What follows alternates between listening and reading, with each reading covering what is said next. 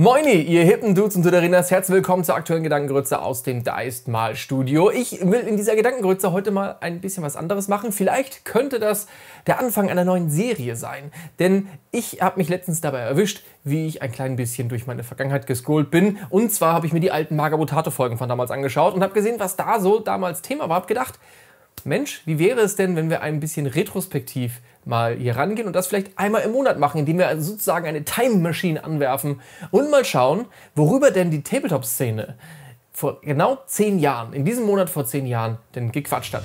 Das folgende Video wird euch präsentiert von miniards.eu. Wir erinnern uns Mai 2012, der Wonnemonat Mai. Was für ein schöner Monat, jedes Jahr wieder aufs Neue.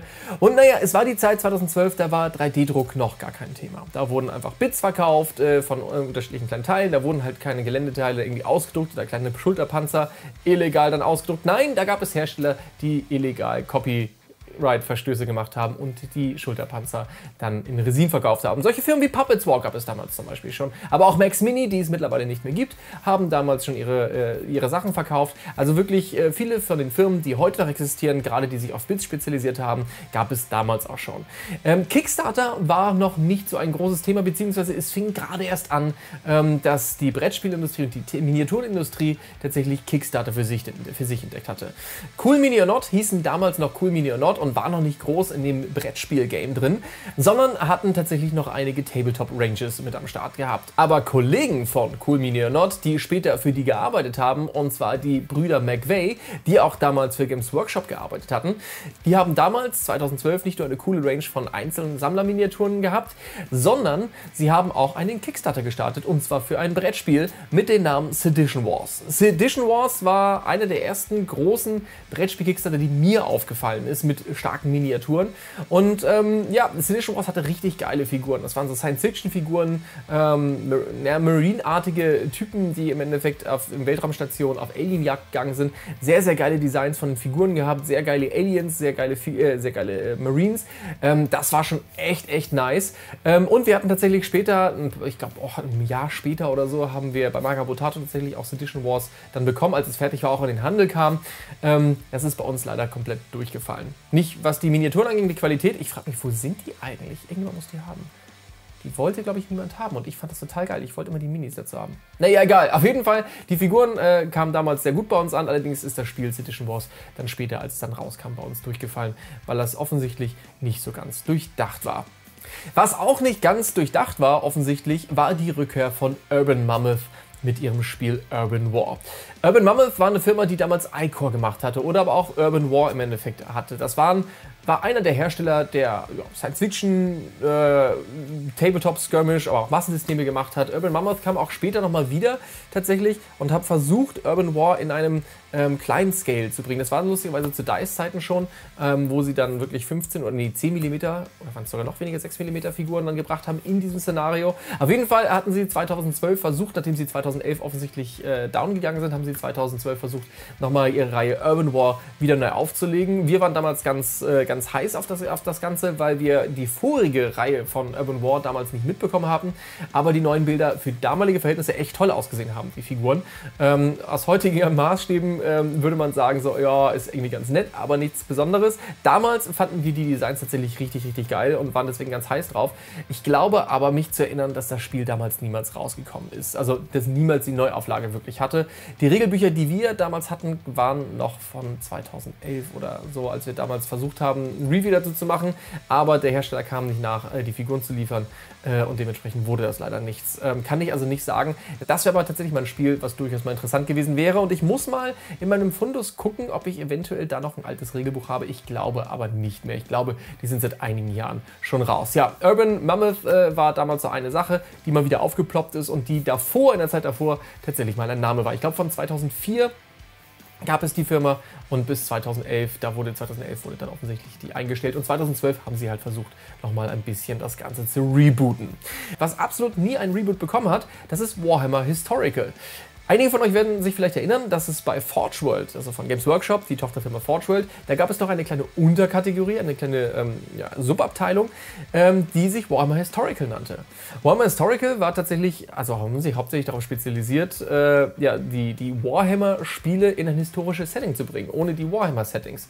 Ähm, da gab es Jahre vor, war schon relativ still um, äh, um, um Warhammer Historical. Allerdings war im Mai 2012 kam dann die offizielle Ankündigung, dass äh, Warhammer Historical offiziell von Forge World eingestellt wurde. Was äh, erst später eingestellt wurde, was zu dem Zeitpunkt aber noch aktiv war, war tatsächlich Warhammer Forge. Das war im Endeffekt eine Tochterfirma von Games Workshop, die wie Forge World war. Eigentlich war sie in Forge World integriert, aber das war im Endeffekt wie Forge World, nur für Fantasy anstatt für 40.000. Äh, Warhammer Forge ist aber nochmal eine ganz andere Geschichte. Ähm, die haben, glaube ich, zwei Bücher rausgebracht, die ich hatte. Vielleicht haben sie auch drei Bücher rausgebracht, also Tamurkan und Monstrum Arcanum. Das sind auch zwei Bücher, die ich tatsächlich noch habe und auch äh, richtig tolle Bücher sind. Ähm, aber Warhammer Forge wurde auch später, ich glaube gar nicht mal so viel später, 2014, 2013 oder 2014 wurden auch die eingestellt. Ja, traurig, traurig, diese Vergangenheit. Was auch richtig traurig war, was wir zumindest damals von Mario Tato ziemlich traurig fanden und ich persönlich fand das auch ein bisschen schade, war das letzte Das Schwarze Auge Miniaturenspiel namens Schicksalspfade. Im Mai 2012 haben wir, oder ging, ging es los, dass äh, das Spiel beworben wurde. Das Spiel kam kurze Zeit später tatsächlich raus, aber im Mai wurden wir richtig heiß gemacht, haben wir die ersten Figuren gesehen und die sahen richtig toll aus, die Sculpts, haben die ersten Figuren bemalt, haben die ersten Spiele gespielt tatsächlich. Auf, auf Conventions konnten wir das machen. Ich glaube, das Spiel kam im Juni raus. Ähm, also DSA Schicksalspfade hatte damals eine rosige Zukunft, so hatten wir auf jeden Fall das Gefühl, weil es endlich mal wieder ein DSA-Miniaturenspiel war, was in Deutschland von Ulysses mitvertrieben wurde, ähm, was vielleicht eine Zukunft hatte mit modernen Figuren und einem modernen Spielsystem, das auf einem Hexfeld dann gespielt wurde oder auf Hexfeldern. Ja, ähm, hat auch nur bis 2015 gehalten, also so richtig äh, zum Laufen kam das Spiel nicht, obwohl es sehr gut sein sollte, aber 2015 wurde zumindest die Produktion der Miniaturen wurde das eingestellt.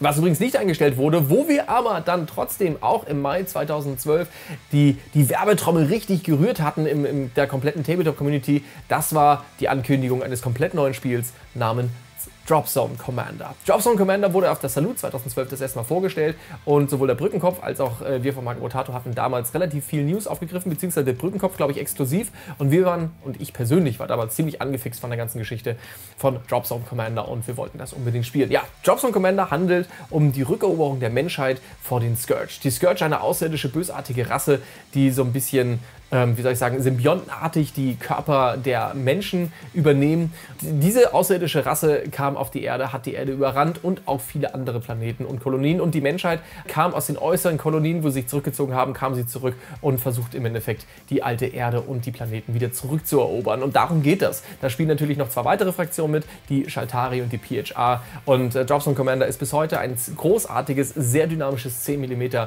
Wargame, was, was richtig, richtig toll ist. Gibt es auch heute noch, Wurde allerdings 2017 von TT Combat gekauft. Das heißt, Hawk Wargames, der Hersteller von Dropzone Commander, hat aufgehört 2017 zu existieren, ähm, nachdem sie aber auch äh, Drop Fleet Commander rausgebracht hatten. Das ist im Endeffekt, spielt im gleichen Universum, äh, spielt aber um Raumschiffschlachten, die im Orbit äh, von Planeten spielen, die im Endeffekt sozusagen die Vorstufe von Dropzone Commander sind. Das heißt, da sind die Raumschiffe, die fliegen im Orbit und müssen die ganzen Dropships ab, äh, auf, den, auf den Planeten absetzen. Das ist die Aufgabe in dem Spiel, um dann im Endeffekt theoretisch die Dropzone Commander Spiele zu sein. Ja, TT Combat hatte 2017 angekündigt, hey, wir machen noch ein drittes äh, Drop Zone Spiel wurde aber nie was draus, zumindest jetzt bis 2022 nicht. Das, das Gute ist, dass sie den Lead-Designer damals von Hawk Wargames mit übernommen haben, der weiter an den Drop Zone, Drop Fleet Spielen weiterarbeitet. Das sieht man auch an den Designs und an den Spielregeln, die weiter verarbeitet oder weiter verbessert wurden. Allerdings äh, wurde die äh, Qualität der, der Figuren in Resin ein bisschen schlechter. Ich hatte tatsächlich mal ein Review dazu gebracht, aber das soll TT Combat angeblich auch in den Griff bekommen haben. Zumindest das, was irgendwann nachgeliefert wurde, war weitaus besser. Leider ist es so, dass dank des Brexits ähm, die Verfügbarkeit äh, nicht allzu leicht aktuell von Dropzone Commander ist. Aber es existiert noch und es ist ein großartiges Spiel bis heute seit zehn Jahren. Was jedes Jahr kommt, was aber auch vor zehn Jahren unfassbar viele Wellen geschlagen hat, wie immer natürlich, das war die jährliche Preiserhöhung von Games Workshop. Ja, die Preiserhöhung, ich habe da mal, ich habe ein bisschen reingeschaut und ich muss ja sagen, meine Güte, waren das für Pre waren das Preise damals. Als Beispiel eine Packung Zerfleischer. Eine Packung Zerfleischer hat damals 22,75 Euro gekostet und da haben sich Wellen geschlagen, weil der Preis erhöht wurde auf 23 Euro. Und um 25 Cent wurde zum Beispiel die Packung von den Zerfleischern erhöht. Es gab natürlich weitere Erhöhungen von anderen Produkten, einige wurden ein bisschen günstiger. Natürlich äh, war das, äh, war ein bisschen mehr Preissteigerung drin. Ich habe jetzt nur mal ein, zwei Beispiele rausgeholt. Zum Beispiel die Höllengrubenbrut hat damals, glaube ich, auch 43 oder 42 Euro gekostet nee, 46, auf, auf 46 Euro wurde sie hochgesetzt. Gucken wir uns die Höllengrubenbrut heute mal an, liegt die bei 55 Euro bei Games Workshop und die Zerfleischer, die auf 23 Euro hochgehoben wurden, liegen jetzt bei 31,50 Euro.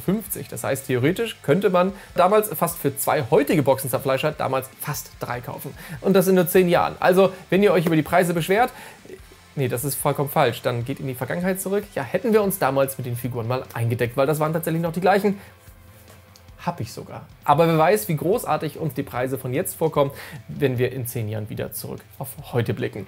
Was übrigens damals auch rauskam im Mai, auch von Games Workshop, war die neue Farbrange von Citadel. Citadel hat ihre Farbrange komplett im Mai, Juni, an den Begriff Mai, April, Mai, Juni haben sie komplett einmal umgestellt und zwar auf das System, was wir heute kennen. Ähm, die Basefarben und Layerfarben gab es vorher schon, aber die haben einfach alle Farben komplett ausgetauscht. Ne? Dass dann zum Beispiel ähm, die neuen Farben genannt wurden und vielleicht kennt ihr das auch noch aus dem Games Workshop oder auf der Webseite, wo ihr Farbtabellen habt, wo ihr gesehen habt, alte Farbe ist jetzt mit der neuen Farbe zu vergleichen und so weiter. Und da wurden die neuen Farben mit eingeführt, unter anderem auch mit den Texture-Farben, mit den Glazes, die es glaube ich mittlerweile auch gar nicht mehr gibt, und mit den Drybrush-Farben. Also diese, diese Range, die heute existiert, natürlich wurde sie im Laufe der Jahre stark erweitert, auch mit den Effektfarben, aber die, die Grundrange und die Grundidee der Citadel-Farben wurden tatsächlich damals etabliert im Jahre 2012. Und wir hatten auch damals in Magotato einen Test gemacht, denn kurz vor Dreh haben wir so, so eine Box mit ein paar äh, Farben gestellt bekommen und haben die tatsächlich auch ausprobiert, wenn ihr euch das mal anschauen wollt. Ich weiß gar nicht, ob ich das Video schon hochgeladen habe, sonst lade ich das mal hoch. Ich werde es auf jeden Fall hier unten verlinken. Und man muss auch sagen, dass die Farben wirklich bis heute funktionieren. Gerade die Washes, also die Shades, sind in meinen Augen bis heute immer noch unschlagbar großartig. Und die Basefarben sind auch ziemlich, ziemlich toll. Plus einige Effektfarben. Also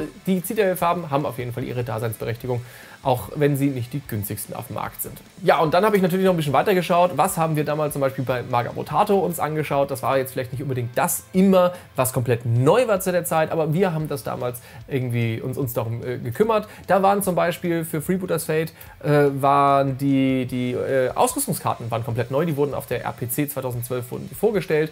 Wir haben damals Anima Tactics getestet, was auch ein ziemlich interessantes Spiel war. Ich weiß nicht, ob es heute noch so funktionieren würde. Also wenn ich mir das Video anschaue mit den, äh, mit den Figuren von damals, sowohl das Figurendesign passt heute irgendwie nicht mehr so geil.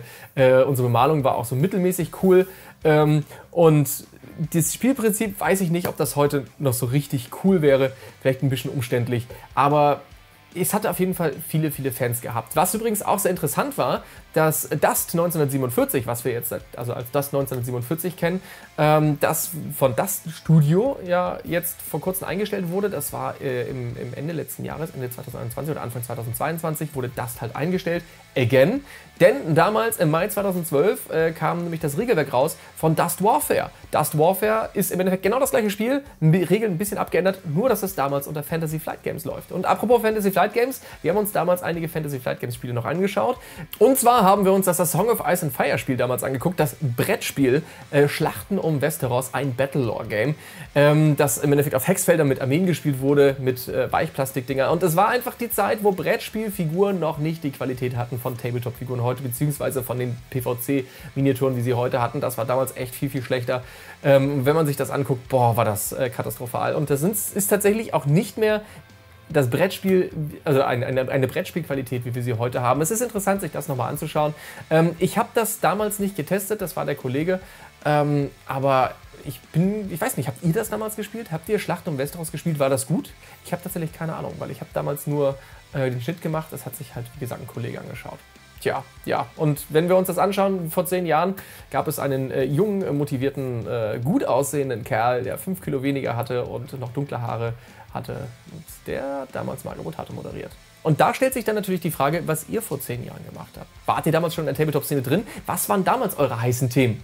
Versucht mal zurückzuerinnern. Im Mai 2012, was waren eure heißen Tabletop-News oder die Sachen, worüber ihr mit euren Freunden in eurer Gruppe gesprochen habt? Oder wart ihr überhaupt noch gar nicht drin und denkt, oh Gott, wie konnte man es damals toll finden? Oder stellt ihr jetzt fest, dass ihr dann doch ziemlich alt geworden seid. All das bitte in die Kommentare und wenn ihr mehr von diesen Rückblenden haben wollt, die Time Machine zehn Jahre später klüger, ich muss noch einen Namen dafür finden, schreibt gerne Namensvorschläge in die Kommentare rein und ihr wisst ganz genau, wenn ihr mehr davon haben wollt, ne?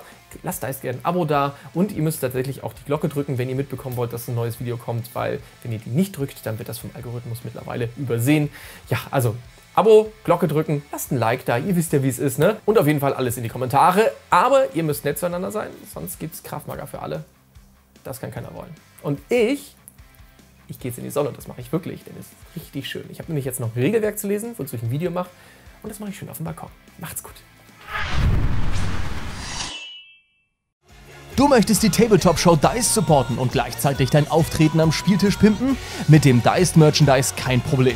Du steigst beim Kauf von Shirts und Spielutensilien nicht nur in den Style Olymp auf, du unterstützt damit auch Dice und hilfst dabei mit, Tabletop great again zu machen. Also zeig deinen Mitspielern, wo der Dice hängt und lege das Schwarz an.